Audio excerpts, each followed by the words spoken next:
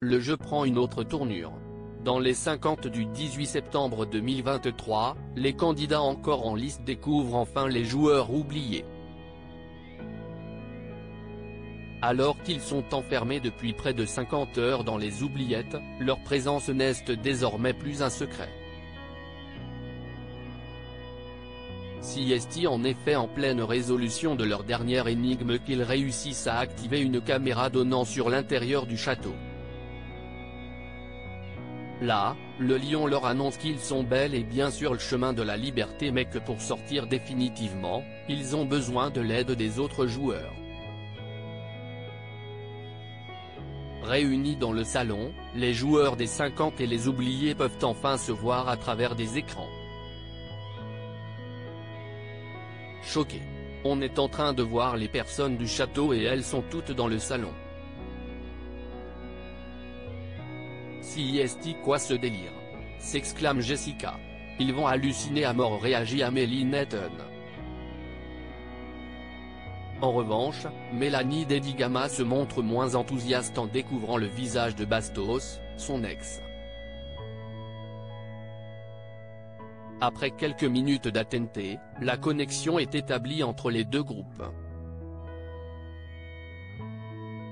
Si est alors la surprise générale? On découvre quoi à l'écran Mélanie, Jessie, Vivian, Simon et Amélie. Je ne comprends plus rien. Balance Anaïs Camisuli. Nous depuis le premier jour on pensait être 50 dans ce château mais en vérité on est 55. Si est une dinguerie? Je trouve ça totalement dingue qu'il y ait 5 personnes qui vivent dans le sous-sol depuis le premier jour. Si est un fou ce lion s'exclame Julien Tanti. À lire aussi supérieur à les 50, saison 2, c'est pas ce droit accordé à certains candidats pour une raison bien particulière Bastos, moi ça m'inquiète un peu. De son côté, Bastos ne voit pas d'un très bon œil ce nouveau groupe de joueurs. Il se pourrait qu'il rentre et moi ça m'inquiète un peu. À 5, il y a de grandes chances qu'ils viennent représenter une menace colossale pour nous. confie-t-il. Alors qu'ils n'ont plus qu'une heure et trente minutes pour trouver leur quatrième clé, Jessie, Amélie, Vivian, Simon et Mélanie doivent collaborer avec tous les joueurs. On comprend qu'on va devoir résoudre une énigme pour les aider à sortir et récolter les 10 000 euros. Explique Naka. Face à l'énigme, ne prend les choses en main.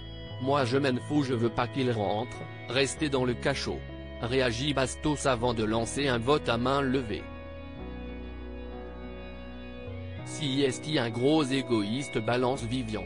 Alors, qu'adviendra-t-il? Réponse sur W9.